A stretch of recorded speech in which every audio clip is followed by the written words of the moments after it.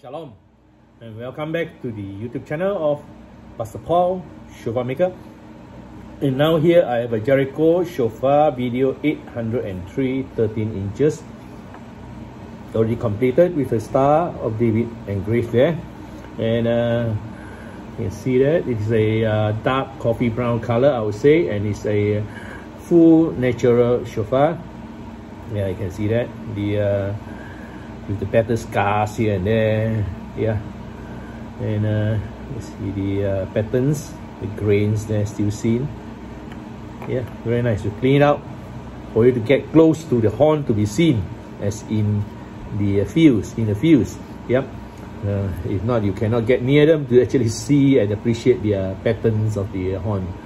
So you can see that the grains very nice beautiful yeah.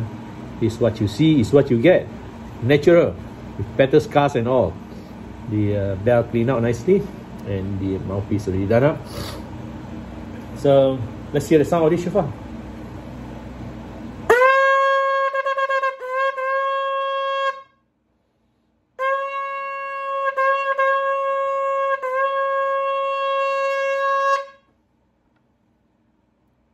awesome. You can hear that?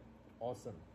Very um, resonating reverberating and a very bright and vibrant sound. Yeah.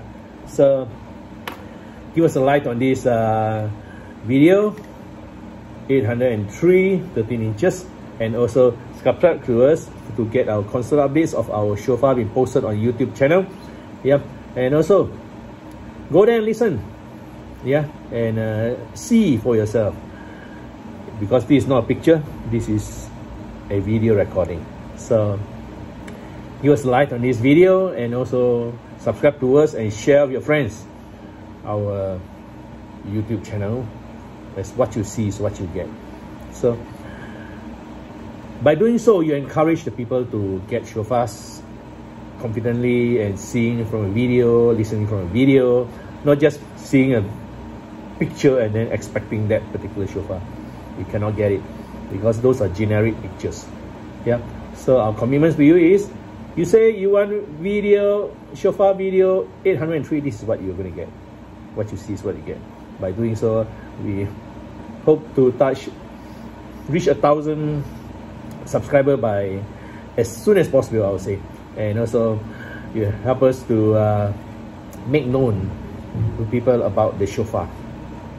Yeah in the in the in their network of friends. So thank you so much for watching. God bless you all and shalom